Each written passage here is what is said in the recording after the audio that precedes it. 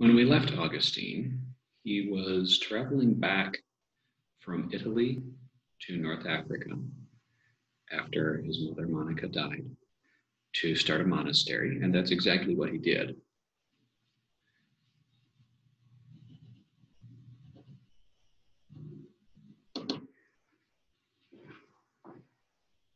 But he didn't get to live in his monastery very long. After a fairly short time, he visited the town of Hippo to invite a friend who lived there to join his monastery. And while in Hippo, he went to church.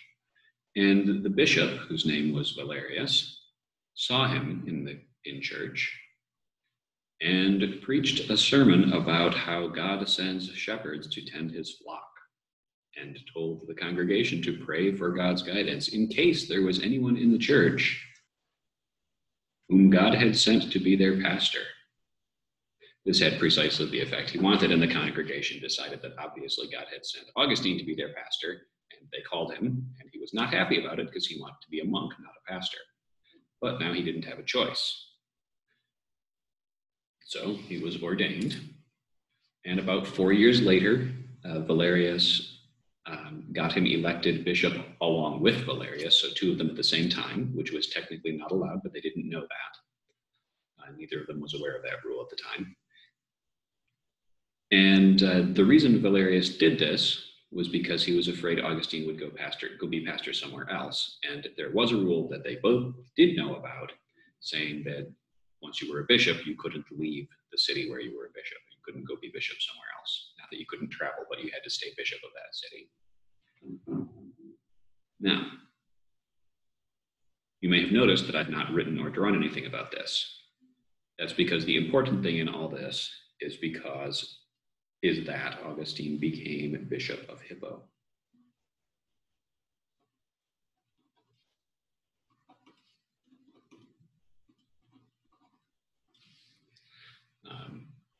Valerius was rather old at the time that he did all this to Augustine, and he died shortly after Augustine became bishop. Why do we care? Well, partly it's to tell him apart from some later Augustines, but who were named after him. This pushed him into all the disputes of his age. He had wanted to live in his monastery, studying the scriptures, contemplating theology, and writing theological books, which he ended up doing, but he was forced by being bishop to write specifically about the, the theological disputes that were going on. Here's what I want you to look for in this lesson.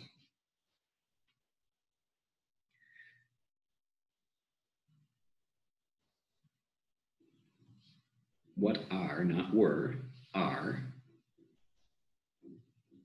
his greatest books?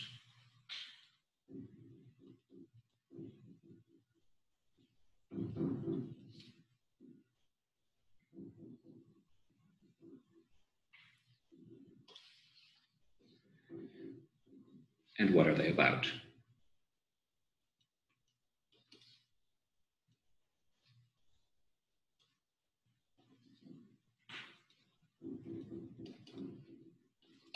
I expect this to use up all of your notes. If you just send me two or three notes, I will send it back and say, no, you didn't try hard enough. There is more to put in. So, what are his greatest books and what are they about? These sound like simple questions, but they're not. Be careful that you don't use up all your line of notes right at the beginning of the lesson. I've seen some of you do that, and then you don't have enough for the important things that come at the end. If you find that happening, you're going to have to change your notes and get rid of some of the earlier ones. You are warned. Now, Augustine did an awful lot of writing in his life, which is what makes him one of the things that make him the most influential theologian of the Western Church. He wrote against all the heresies of his age.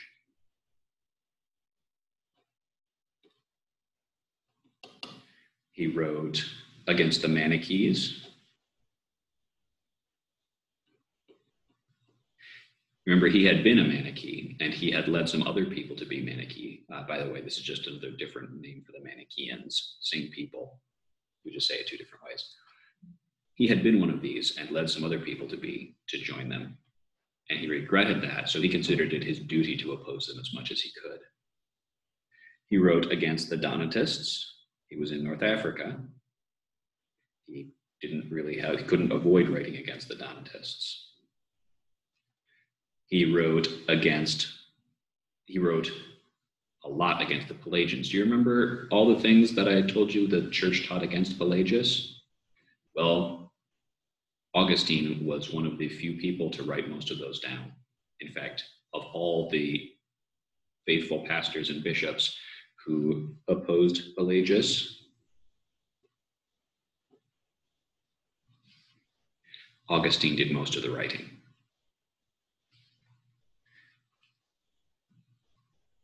and against the Semi-Pelagians.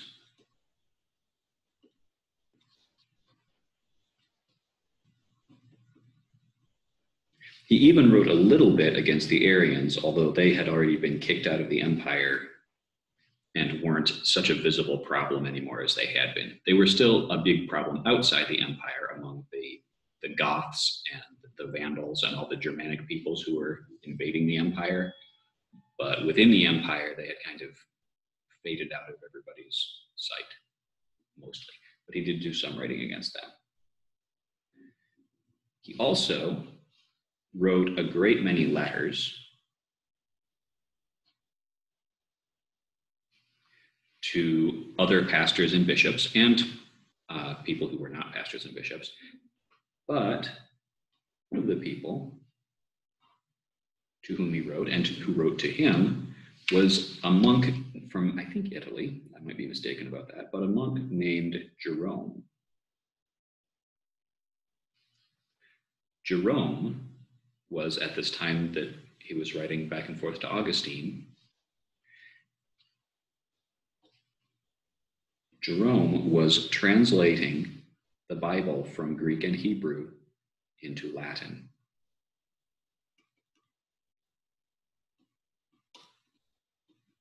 We call this the Vulgate because that's the dialect of Latin it was written in. He didn't use, he wrote it in the kind of Latin used by common people, not the classical Latin that we're learning, such as was used by um, scholars and literary people. He wrote it, he, he didn't write it, he translated it into the common version of Latin that everyone would understand because he wanted everyone to be able to read the Bible. Now, this would, there would be some problems surrounding this in later centuries, and he did make a few mistakes, which would also cause problems, but that's much later on, and we're not talking about that this year.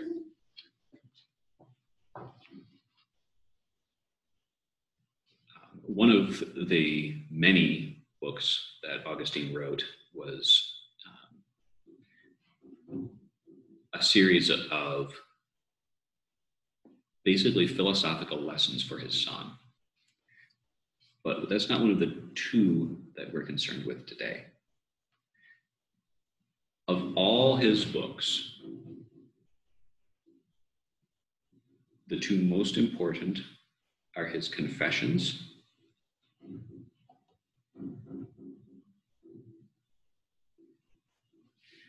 and the city of God.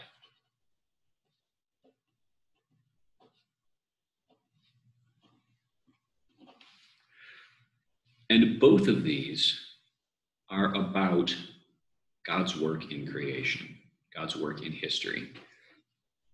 The confessions are about God's work in the life of a Christian.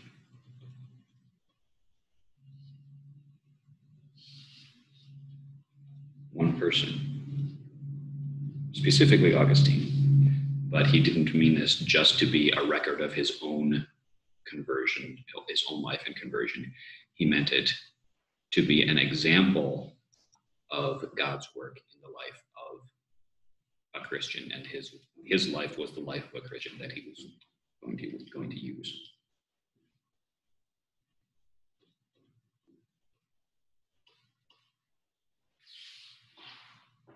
Everything I've read says that there is no other book like this in the entire world. No other book like this one has ever been written. The Confessions is a book that an autobiography is when someone writes the story of their own life. This is a spiritual autobiography.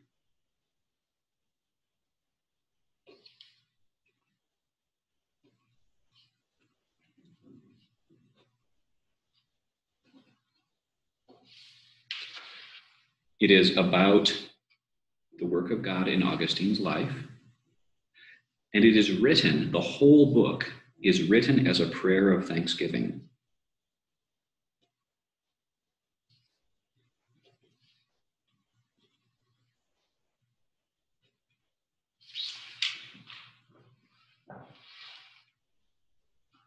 For the for um, the forgiveness of sins, for conversion, and for the gifts that God gave to Augustine as a Christian.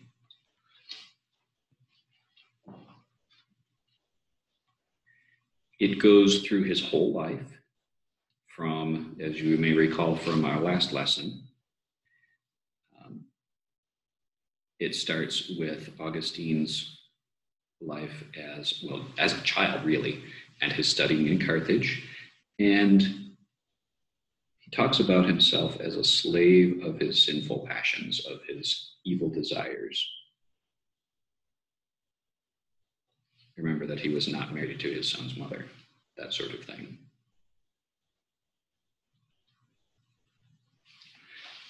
So it starts with this.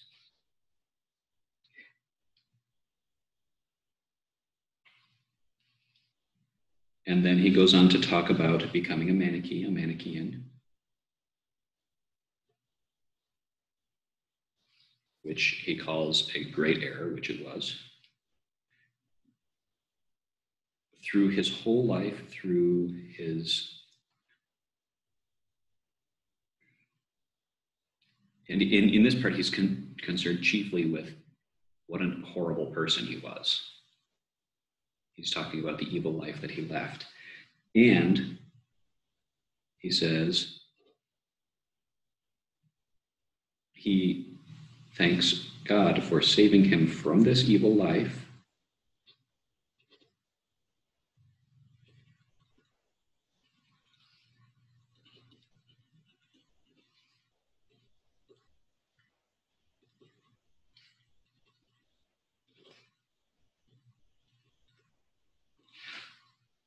And he thanks God for, among other things,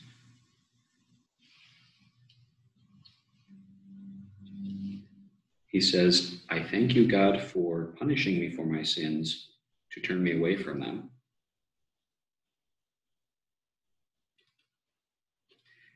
But less than I deserved. I deserved worse.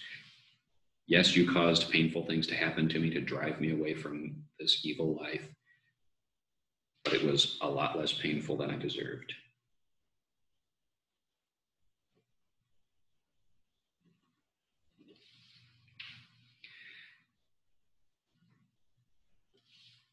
And then he thanks God for, for Monica, praying for him, and bringing him to hear Ambrose.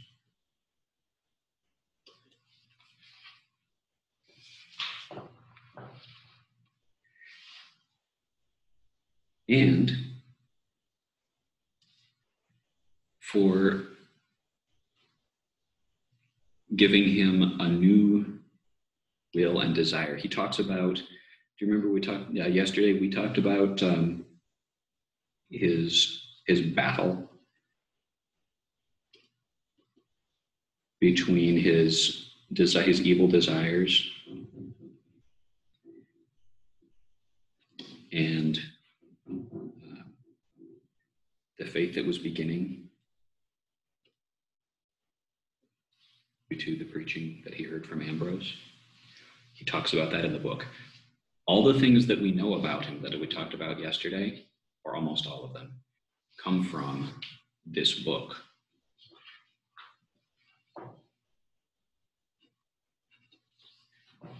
He thanks God for his conversion. And for the new and better and happier life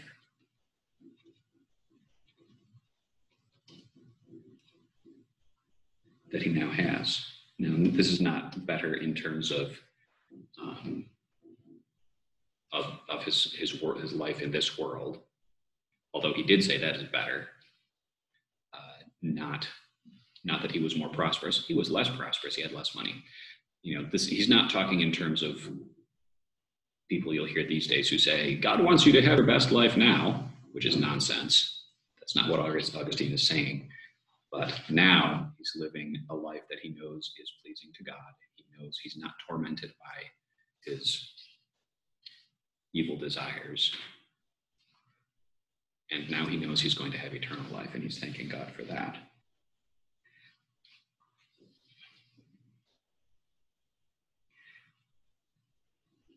From there, he goes on to Again, still in the form of a prayer of thanksgiving. Uh, to examine not only his own life, but the life of every Christian.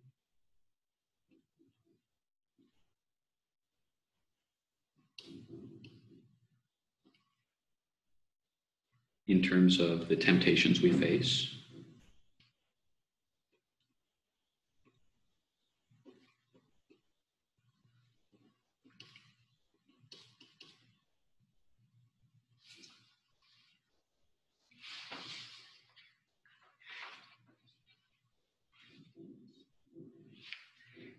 Prays for better understanding of the scriptures.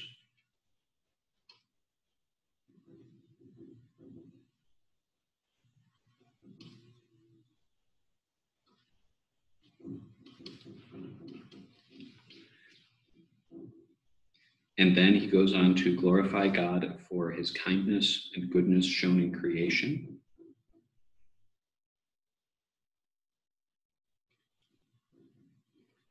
In the physical gifts he gives us.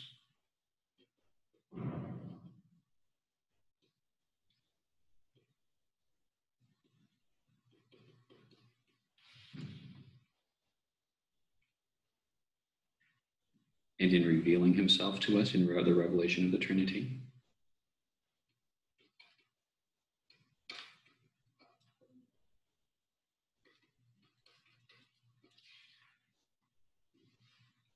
And finally, prays for eternal rest. And that's the end of that book.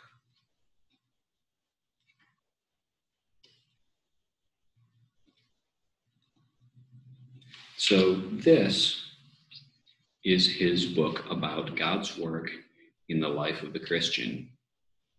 Um, thanking God for his work in Augustine's own life the city of God is so here's a personal history of God's work. The city of God is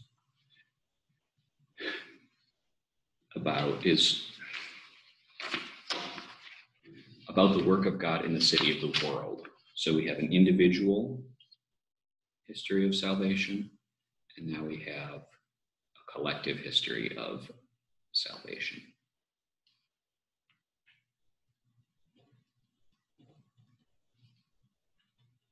Going to say God's work in nations because that's primarily what he talks about, or in kingdoms.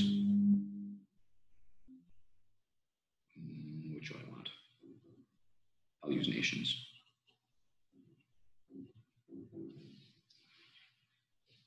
Now, this was a response to pagans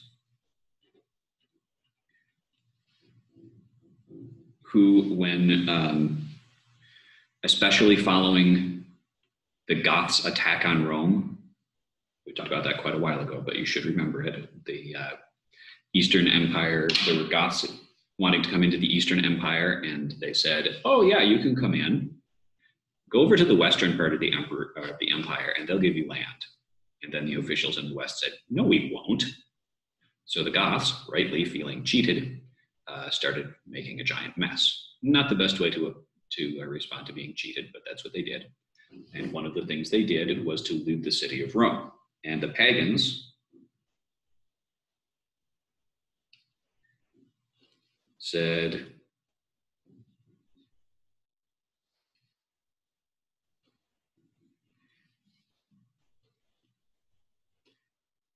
This is because of the Christians. They said, You stopped the worship of the gods. This happened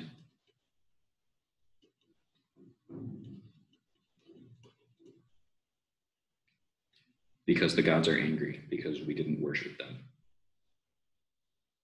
Because you Christians abolished their worship. Well, because you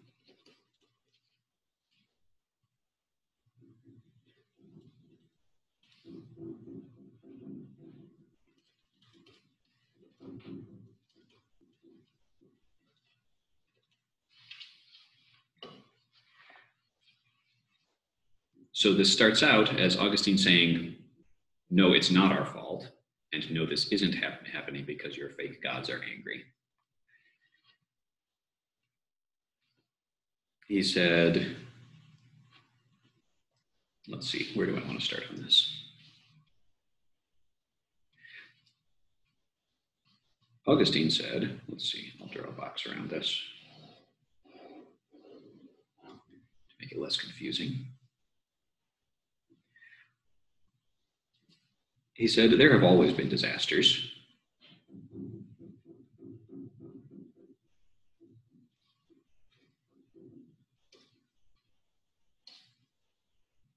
Even before we stopped the worship of your fake gods, and your gods didn't help you when there were disasters. We can look at histories by pagan Roman historians and see that the gods didn't help Rome.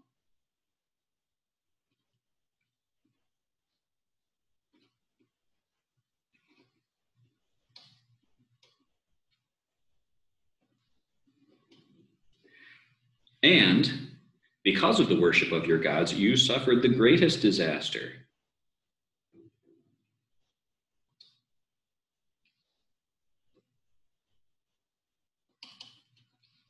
Which is corruption of morals and of vices of the soul.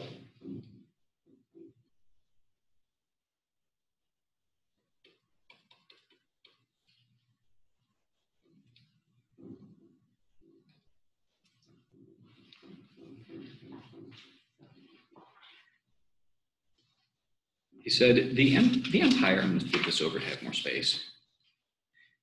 He said, the empire lasted a long time, not because the gods were happy,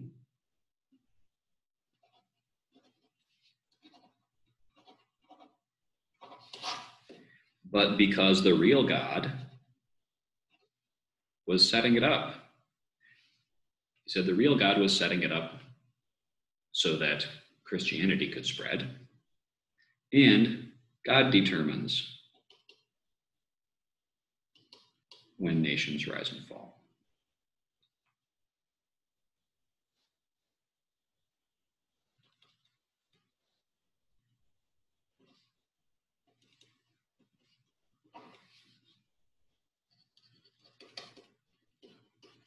It is really hard to write in print all this time. He said, part of this was because the early Romans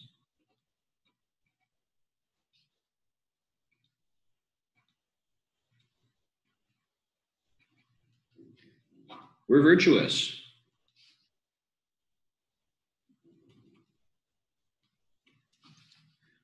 And virtuous people usually can accomplish more, not always. Then he goes on to say, okay, not only did your gods not protect your empire, but your gods did, don't give you eternal life.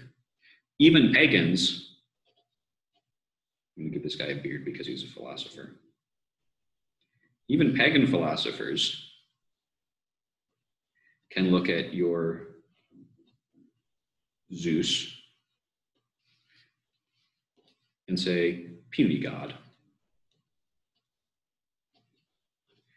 Even your pagan philosophers say that your gods aren't real and don't save you. They don't give eternal life, they don't save your empire.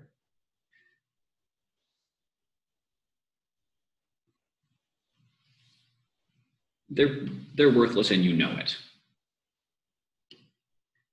Your own pagan authors can tell you this. You don't even need to ask Christians. So, no, it's not the fault of Christians that all these things happened. And if the empire is coming to an end, it's just because God determines the time the nations last, and this one has come to his end. And besides, the Roman Empire has been pretty evil for a long time. And even with the Christian emperors, you all haven't cleaned up your act very much. So if it's anyone's fault, it's yours for for uh, refusing to repent, and this is just punishment for your sins. So then he changes the subject, and he says there are two cities in the world from the creation to the end. There is the city of God and the city of man. This is where the book gets its title.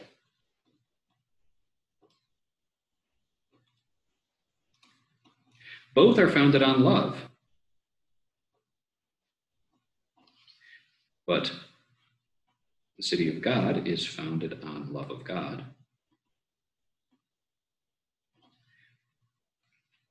And the city of man is founded on love of self.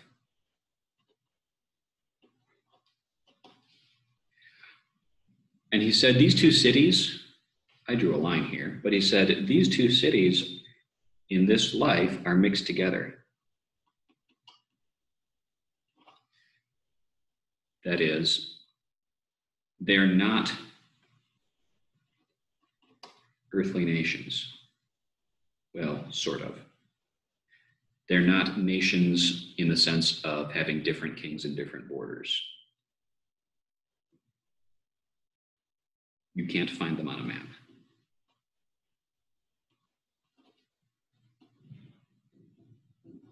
The city of God is mixed in with the city of man, and kingdoms, earthly kingdoms,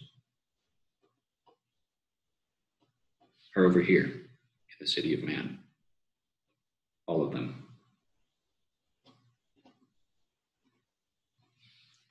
Including the Roman Empire. The city of God is the church. The church exists mixed into earthly kingdoms, but it's a separate city.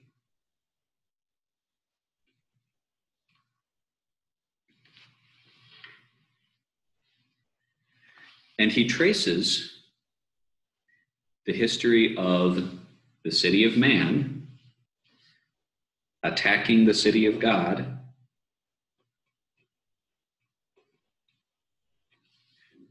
From creation to the end of the world. He starts with Cain and Abel, and he goes through all the patriarchs, all the um, David and Solomon, Moses, Pharaoh being representing the kingdom of the city of man, Moses, the city of God.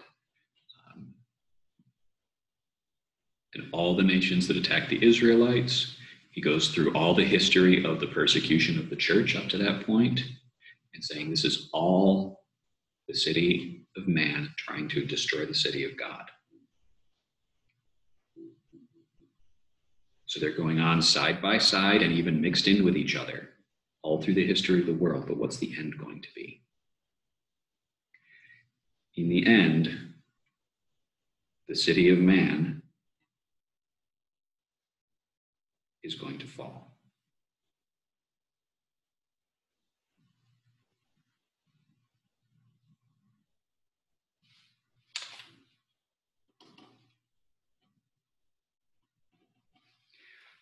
And the city of God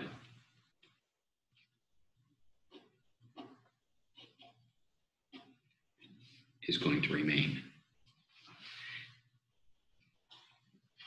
In fact, even when the whole world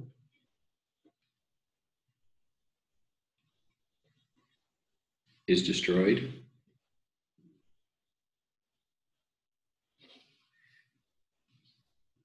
the city of God, the church, remains in the new heavens and the new earth in the resurrection of the body.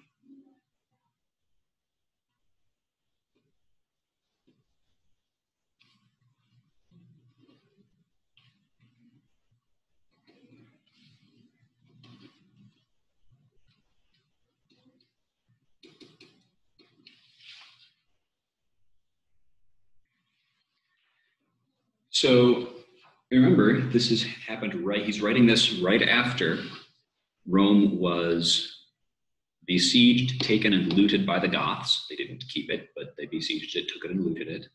They did some pretty nasty things to the people there.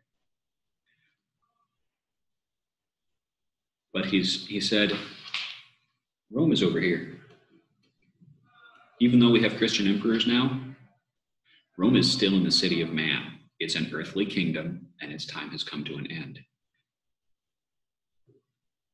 Yes, bad things are happening. Yes, you are suffering. But Rome is not the church. A lot of people had come to think of the Roman Empire as the preserver of the church. The church goes on without Rome. The church goes on without any earthly kingdom. They all have their beginnings and ends, which God determines and the church will last forever beyond the end of the world to the resurrection in new heavens and new earth.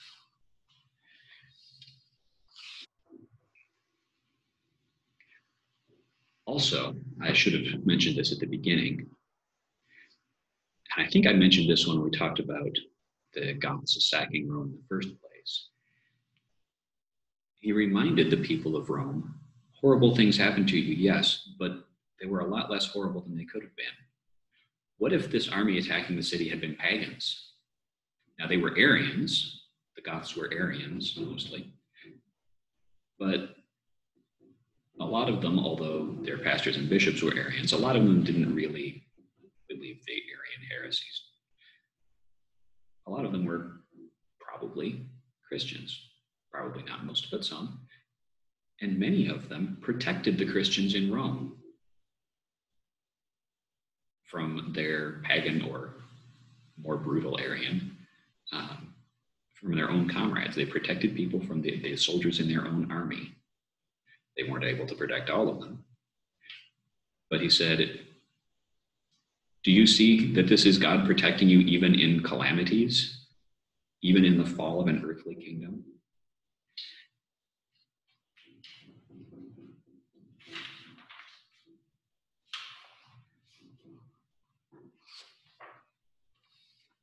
I said at the beginning of our previous lesson that Augustine was the last of the ancient church fathers. He died in AD 430. In AD 476, the last Western Roman emperor Romulus Augustulus, was deposed by, I think he was a Goth named Odoacer.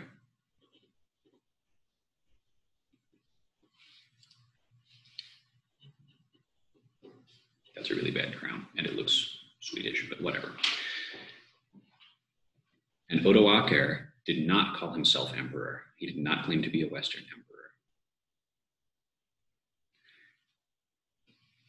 The Senate still existed, and the Senate sent to the Eastern emperor and said, Hey, uh, come kick out these Goths because we don't have an emperor anymore, and we're okay with you being the whole the emperor of the whole empire. Come help us. And he said, Nope, Odoacer is your king. Yes, I'm still the emperor, and he's king under me, but he's still king. He's your king obey him. Odoacer didn't really care. He was king, and the Western Empire was finished. So, 46 years after Augustine died, came the end of the Roman Empire in the West. And as modern historians, we call this the end of ancient history and the beginning of medieval history.